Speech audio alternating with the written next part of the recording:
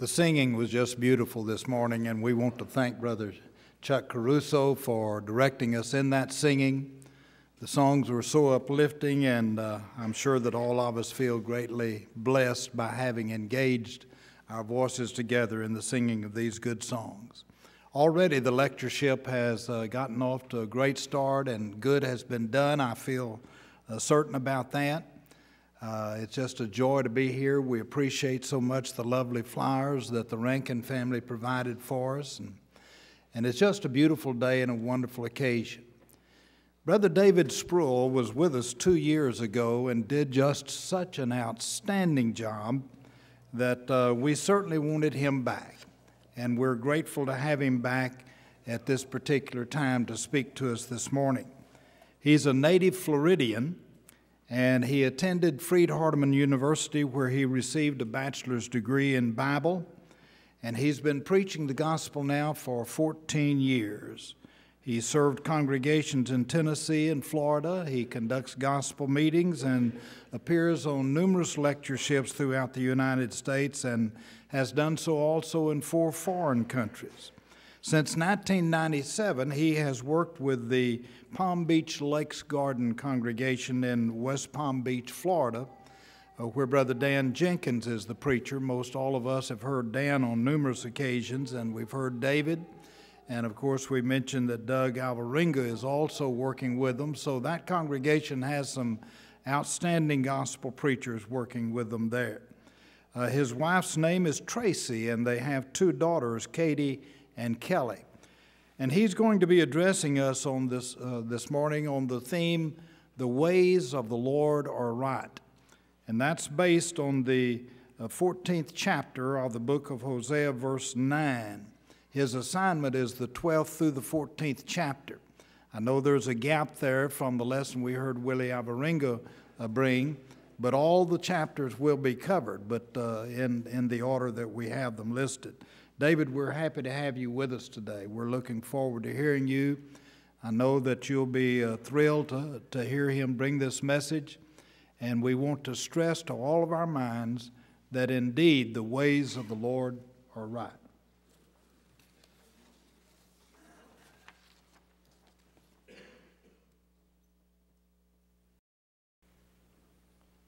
So good to be back with this good congregation and to have the privilege of worshiping with you and being a part of this great lectureship.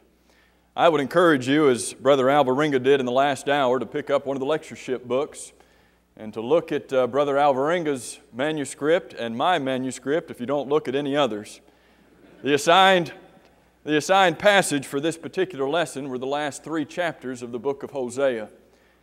And in that manuscript, I have tried to deal with those last three chapters, giving a brief, comment, uh, brief comments and commentary on those chapters. But in the synopsis that Brother Maxey sent me about this lesson, he gave me permission, and the word he used, and he had it in quotes, was to sermonize on the topic that's found in Hosea chapter 14 and verse 9. And that's where Hosea says, as he summarizes the end of his book, that the ways of the Lord are right. You may be aware as you turn on the news that halfway around the world there is a war that is going on. But I would suggest to you that there is a war that is going on all over this globe. It's not just a war that's halfway around the world, it's a, it, it is a war that each and every one of us is a part of. But it's not a war that you're going to hear about on the news tonight. And it's not a war that you're going to find our presidential candidates talking about. But it's a war that when it's ended, someone will have won your soul. When the war is over, your soul will have been won. The Bible says that God wants every man to be saved and to come to a knowledge of the truth. The Bible says that God is not willing that any should perish, but that all should come to repentance. And so, as you think about this war that is happening all over this globe and the war that's happening even inside this building this morning, we need to recognize that on the one side, there's the God of heaven who is pulling for us to go to heaven. God has no greater desire for you in your life than for you to go to heaven. If you could know how much God wants you to go to heaven, you'd spend your entire life trying to get there just to please Him. God does not want a single one to perish. And yet, while God is pulling for you in one direction to go to heaven, you know there's somebody pulling in the other direction. And while God does not want you to perish, there is that other, there is that adversary, there is the devil who's walking about as a roaring lion, seeking whom he may devour. He wants your soul. He doesn't want your soul to go to heaven. He wants your soul to spend all of eternity in the fires of hell. And right now, at this very moment, there's a war. God is pulling in order that you might come to heaven. The devil is pulling in order that you might follow him, follow after his ways, and spend all of eternity in hell. Who's going to win? Who's going to win the battle? Who's going to win that war? Most of the time, when you think of a battle, think of a war, think of a tug of war contest, you would automatically assume that every time the strongest one is going to win. And I wish that were the case in this situation. Because there's no doubt that God is infinitely stronger than Satan. He who is in us is greater than he who is in the world. But God is not going to win your soul unless you decide that that's where you want to go. God is pulling for you. Satan is pulling against you, pulling against God. And the decision, the ultimate end of this war is in your hands. And so I stand before you today. And as Joshua stood before the children of Israel before his death, in Joshua chapter 24 and verse 15, a passage that you know very well. Joshua called upon the people of God. And he said, You need to choose this day whom you will serve. Brother and sister in Christ, every young person who's here today, there's a lot of kids here today. Every friend who's here today, every loved one who's here today, I call upon you, choose you this day whom you will serve. Joshua gave them the options. He said, You can go back and you can serve the gods that your father served over on the other side. You can serve the gods that are right here in this land. But Joshua said, As for me and my house, you know it, we will serve the Lord. Will you not this morning make up your mind? Will you not this morning stop being like some of those prophets of Baal were in 1 Kings chapter 18, where Elijah came along and said, Why falter ye between two opinions? Sometimes that's what our life looks like. Sometimes our life looks like we can't make up our mind which direction we want to go. Sometimes our minds can't help us to make up our minds which, which God, which direction are we going to serve. In Matthew chapter 6, Jesus said, No man can serve two masters. Now, that's not a reflection on your capability. That's not a reflection on your ability or on your strength.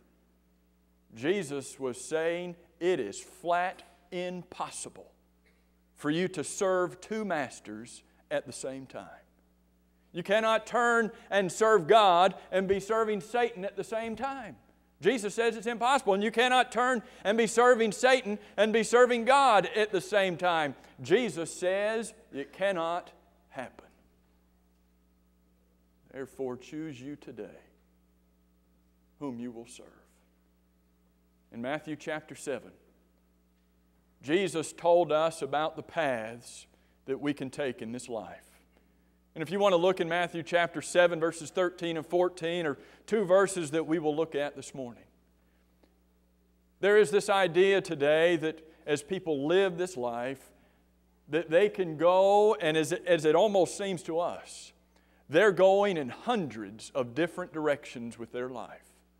Someone may be going this way with their life, someone may be going this way or this way or this way, and it seems to us that they're going in hundreds or thousands of different ways with their life. And yet Jesus said there's only two possible ways. There's only two possible paths that you can take in this life. There's only two. Right now, at this very moment, every person on the face of this earth is on one of these two paths. This morning, I want us to consider these two paths as we talk about this topic that the ways of the Lord are right. In Matthew chapter 7 and verse 13, Jesus describes that first way. And for the purposes of this lesson, I just want to call it the ways of the world. You can call it the ways of sin, you can call it the ways of Satan, and all of those would be saying the same thing. But Jesus says there are two paths that you can go on, two ways that you can go in life. One way is that you can go down the ways of the world. I love how God describes this. If you want to see God's evaluation of what this way is like, He first of all says that this way is a way of folly. You read Proverbs, and, and over and over, God talks about in that book the marks of fools, the marks of foolishness. And He says that those who go down this path, those who follow after the ways of the world, God says are following a path of folly. Are you on that path this morning? Are you following after the ways of the world? God says the end thereof is going to be even while you're on that path, it's going to be a place of folly. Because you see, if you're following the ways of the world, then you are one that is basing all of your decisions on human judgment. You're basing all of your decisions on your own human reasoning.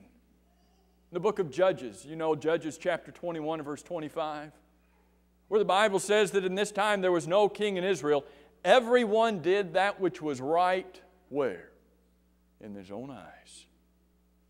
Man was deciding what man was going to do. In Proverbs chapter 14 and verse 12, it says, There is a way that seems right to a man. When you follow after the ways of the world, you're following after your own desires. You're following after your own inclinations. You're following after your own wisdom. The Bible says that when you follow after your own desires, that it's going to give birth to sin in James chapter 1, verses 14 and 15. You cannot walk after the ways of the world and avoid sin. You cannot walk after the ways of the world and not stumble because the ways of the world demand that you walk after your own judgment, your own faulty reasoning. And the one who leads you down that path is that great deceiver. You think about what Satan is able to do. Satan is able to take that which is so evil, so wicked, and so wrong, and he's able to make it look so good and look so right. In 2 Corinthians chapter 11, verse 14 says, that, that, that, uh, that the devil can transform himself into an angel of light. And that his ministers, the next verse says, can turn themselves, transform themselves into ministers of righteousness. Here's the devil who we know wants us to spend all of eternity in hell, and yet he can transform himself into an angel of light and make all those things that are evil appear to be good. Back in the days of the prophets, there were those who were calling good evil and calling evil good, and I don't think much has changed. We live in a world where there are people calling that which is good evil and calling that which is evil good because they're following after and have been deceived by the guise of Satan. If you follow after the ways of the world, you're being deceived. The pleasure that you are being promised is only a temporary pleasure. Moses recognized that in Hebrews chapter 11 verse 25 that, this, that these pleasures of sin were merely passing, temporary pleasures and not anything that would last. There are so many things that seem so appealing in this world. But yet, when you get over and you partake in what they have to offer, all of a sudden it's not what you expected. All of a sudden, that which you thought was going to be so great ends up being less than great. You've been deceived. Following after a path that cannot promise any kind of joy or pleasure that will last any longer than what would be temporary. And when you follow after the ways of the world, you become enslaved to them. You remember the story of David and Bathsheba? You remember how, in that story, even as it were, seemingly in a short period of time, how David became enslaved to sin. He committed one sin, and in order to cover up that sin, he committed another sin. In order to cover up that sin, he committed another sin. In order to cover that up, and on and on and on, David went to the point where the tentacles of sin had wrapped themselves around David and had grabbed a hold of him, and David was serving sin. That's what can happen to us. We can become so enraptured with the things of the world that we will become a slave of the world. We'll become, we will become a slave of sin. And that's what Romans chapter 6 talks about. It's interesting that there are people that in the world who think, well, Christianity is, is where you get enslaved. Being a Christian is where you're, you're, you're living some kind of a strict life where you can't do this and you can't do that all the while not realizing that they need to pick up a mirror and see that the ways of the world are what are enslaving. The ways of the world are addictive. Why do you think there are all of these different Alcoholics Anonymous and, and, and Drugs Anonymous and Gambling Anonymous and all of these things that are involved with trying to help people break addictions? I haven't heard of any Christians Anonymous, have you? You seen any groups trying to break Christians of, of their addictions? Perhaps it's because we're not addicted to Christ enough. The ways of the world are enslaving. They'll grab a hold of you and they won't let go. And if you do nothing in this life, if you do nothing in this life to escape them, the Bible says there's a way that seems right unto a man, but the end thereof is death. Separation from God not only in this life, but you can be separated from God for all of eternity if you do not escape the ways of the world. As you think about these six points, as you think about God's evaluation, and that's what this is. This is the Scripture's evaluation of what the ways of the world have to offer. There's nothing here that I want. There's nothing here that I want for you. There's nothing here that's going to gain you an entrance into that everlasting kingdom. But for just a moment, if God's evaluation of the ways of the world is not enough, could I ask you to honestly step back and ask yourself this morning honestly what is it that the world has to offer that God doesn't? What is there that I can, that I can have in the world that I can't have if I'm in Christ? What is there that could be afforded to me by following after the ways of the world that I can't have if I'm trying to follow after the ways of the Lord? And this list is not exhaustive, but I would suggest to you this morning that there are a lot of things in this world that you can have that you can't have in Christ. Are there any of these that might be appealing to us? Do you know that you can have these things right now in the world? but not have them in the Lord? You know, if you follow after the paths of the world, you can have maliciousness in your life. You can have violence. You can have hatred. You can have envy. You can have jealousy. Oh, you, yeah, but, but you can't get that in Christ, can you? If you follow after the ways of the world, you can have lasciviousness, you can have sexual immorality, you can have adultery, you can have fornication, you can have lust, you can have pornography, you can have homosexuality, you can have all of these things if you'll just follow after the ways of the world. But you won't find them if you follow after the ways of the Lord. If you take an honest step backward and you begin seeing what this world has to offer, what is there on this list? that is so appealing?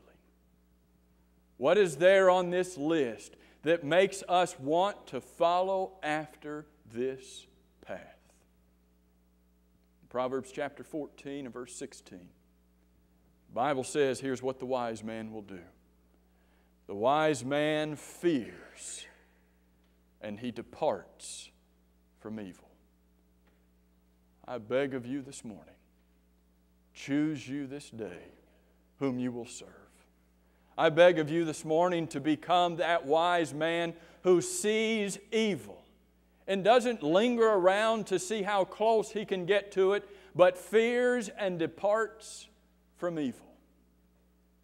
There's a, uh, I guess it's an invitation song that we sing that has a verse that says, This world has nothing left to give. Is that true? You follow after the ways of the world, and this world doesn't have anything left to give. It has no new, no pure delights. There's nothing in this world that you and I, as Christians, should want. I don't know about you, but that's enough for me to say, I don't want that. That's enough for me to say, that's not the path that I want. Let's talk about the path that Jesus talks about, the path that Hosea talks about. Let's consider what is involved with the ways of the Lord. And I want us to contrast, the reason I put this list back up, is I want you to contrast the ways of the world with the ways of the Lord. And while God looks at the ways of the world and says these ways are, are folly, Hosea says the ways of the Lord are right. They're right every time. In Psalm 18 and verse 30, the psalmist says that the way of the Lord is not just right, it's perfect. If you want to follow the path of God, if you want to follow after the path of the Lord, you can be right, you can become perfect, just as your heavenly Father is perfect. Because you're not basing what you're doing upon some kind of human reasoning, you would be basing the path of your life on divine wisdom divine reasoning. Do you know the passage in Isaiah 55 and verses 8 and 9? If you don't know that passage, you need to underline it in your Bible and you need to write it on your hearts. Because there's, there's this tendency in our society today. There's this tendency to, for some reason, to try to elevate ourselves, our finite human selves. There's a tendency to try to elevate ourselves to the position to, the, to be equal with God. And if not to do that, then to bring God down and bring Him down to our level. And yet in Isaiah 55 and verse 9, what does the Lord say? As the heavens are higher than the earth, so are my ways higher than your ways, and my thoughts than your thoughts. Folks, we need to know that. We need to recognize that our finite minds, our finite thoughts, and our finite ways cannot compare at all with the ways of the Lord. And if you'll follow after the path of God, if you'll follow after the ways of the Lord, you'll be following after divine wisdom, divine reasoning. You'll be following after godly desires. In Titus chapter 2 and verse 11 or verse 12, it says that if we're going to serve God, if we're going to partake of this grace that's talked about back up in verse 11, then we need to deny ungodliness and worldly lusts. We need to get this out of our lives. Denying ungodliness and worldly lust, that we should live soberly and righteously and godly in this present age, and that's where we need to be. Making up our minds to turn our backs on the ways of the world and to turn and serve God, serving Him with godly desires in recognition that the ways of God will never deceive us.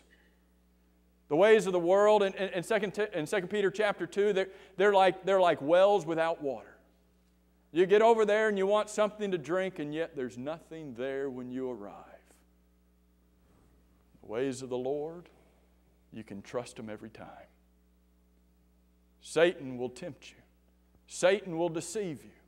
And when that angel of light gets you over there, you'll recognize it's not light at all, it's darkness. He's changed, he's turned. But James chapter 1 verse 17, the Bible says, We have a God in whom there is no variation, there is no shadow of turning. You can trust him. He's not going to change. When God makes you a promise, when God tells you that if you do something that you will have this reward, you can count on it every time. Ways of the Lord are, are a path that you can trust with your life because these are not momentary pleasures. These are not temporary pleasures that you have serving God. These are eternal pleasures. Jesus promised in John chapter 10 and verse 10 that those following after the ways of the Lord would have an abundant life. And that's not just an abundant life in heaven, that is an abundant life here on this earth. As you begin to look at your life, which path are you on? Are you following after the ways of the world?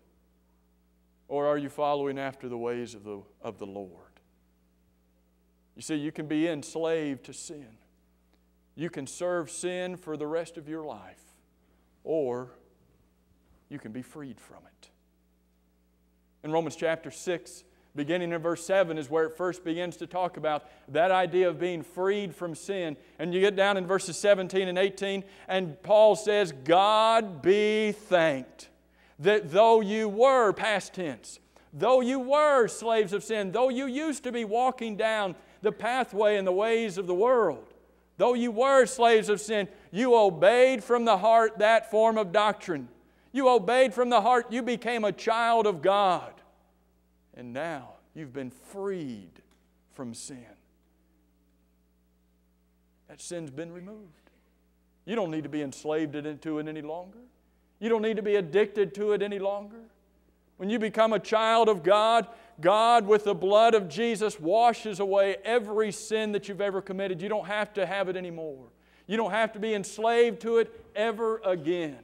You can turn from being a slave to Satan and turn and become a slave, a servant, a faithful servant of God. And the promise of God is that if you'll follow after the ways of the, world, uh, of the Lord, that you'll have everlasting life. That you will have the promise of an eternal dwelling place with God forever and ever.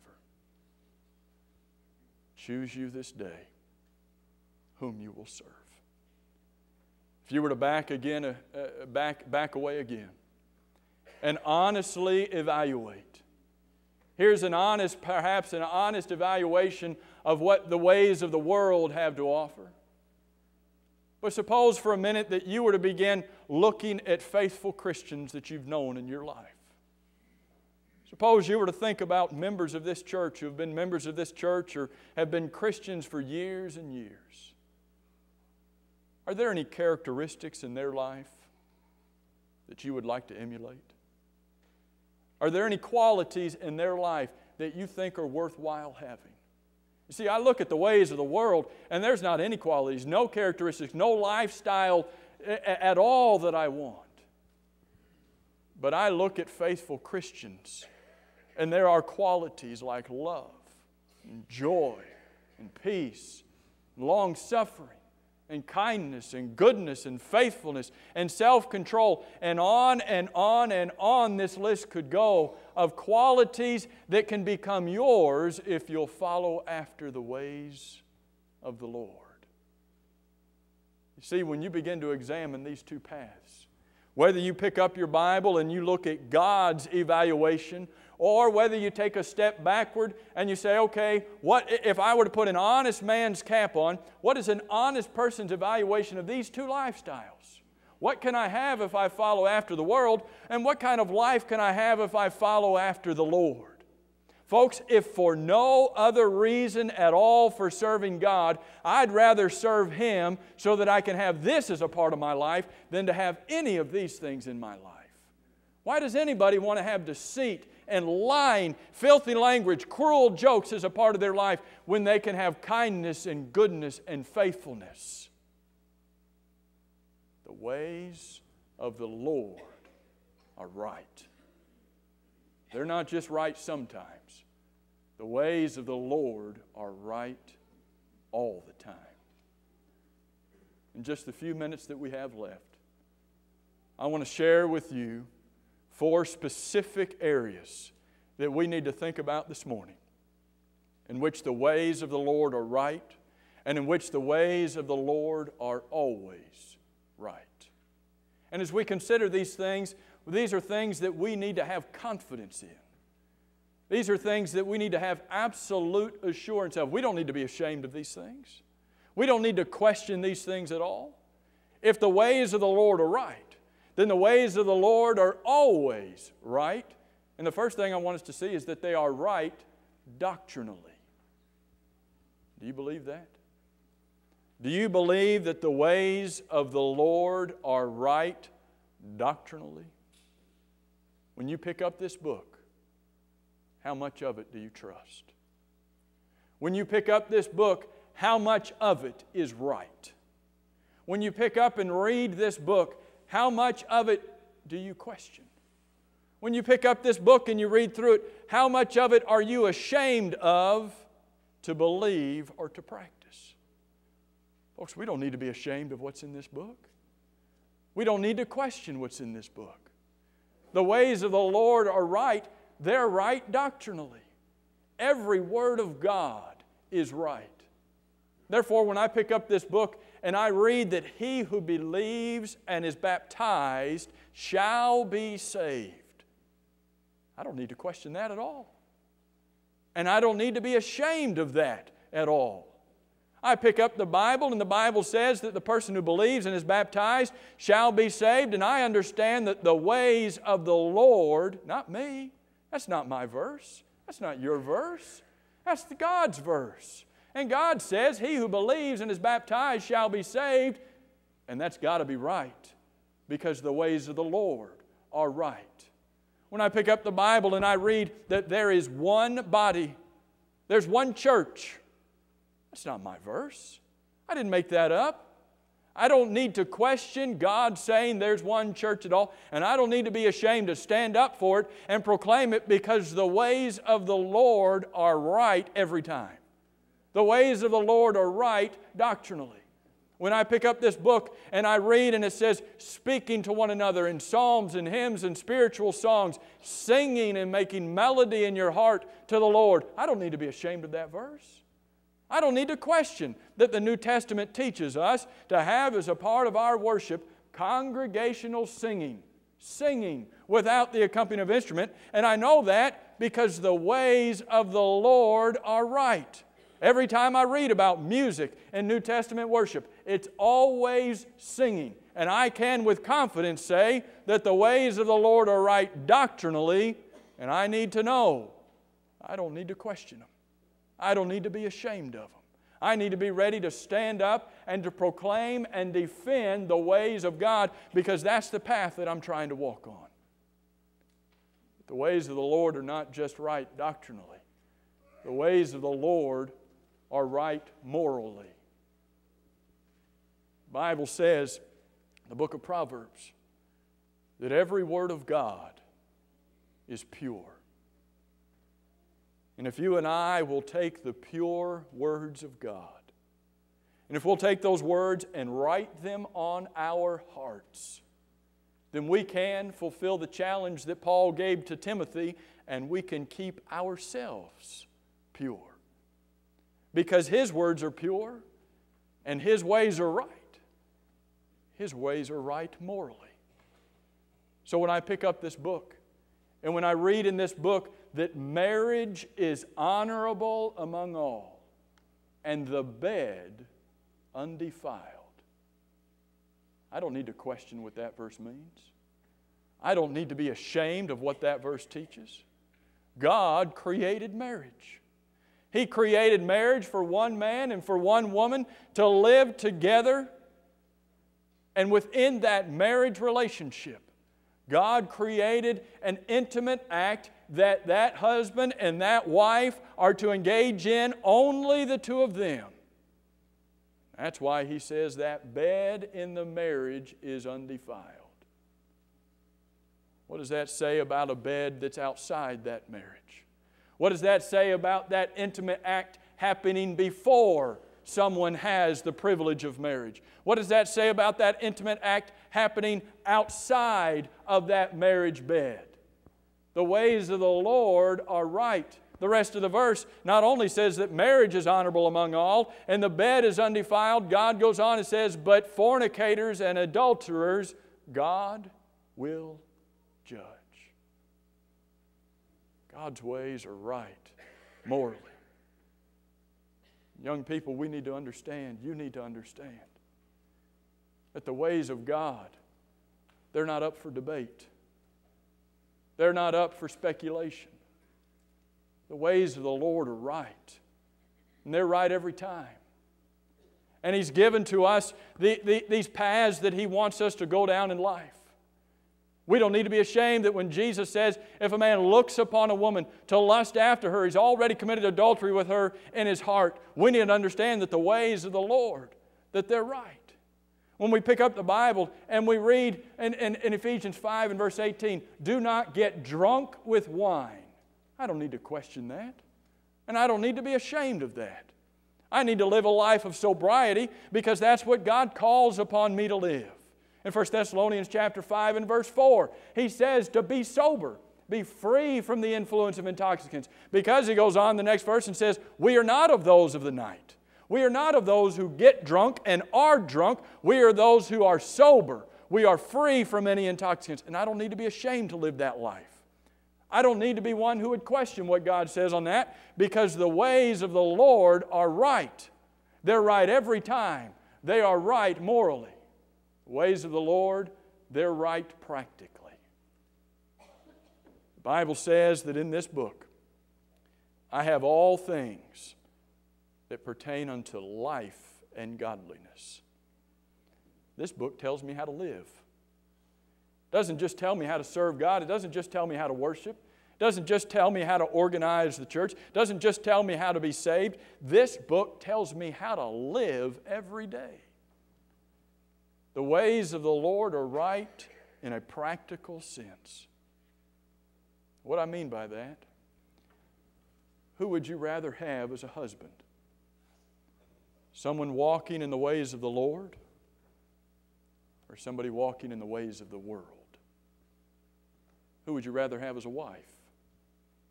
Who would you rather have as a mother or a father? Someone walking in the ways of the Lord or somebody walking in the ways of the world? Who would you rather have as a neighbor?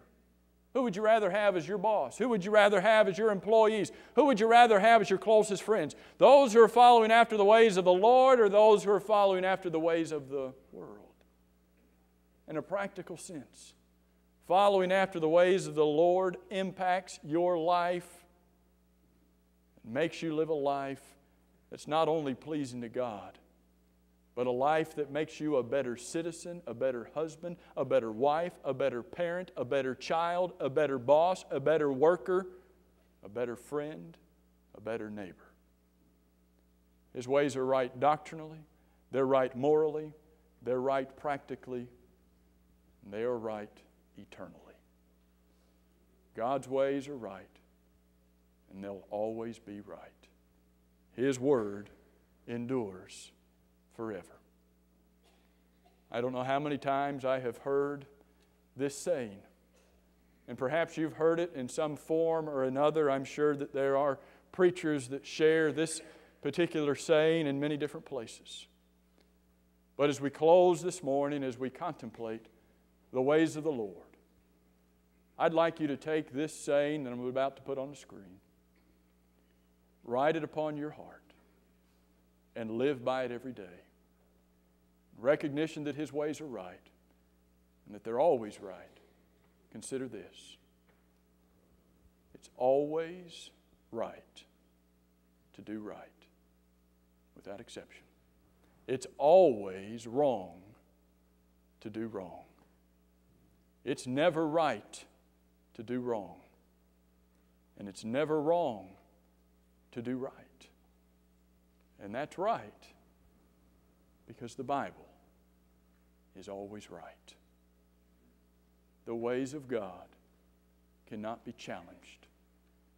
You can choose not to serve Him.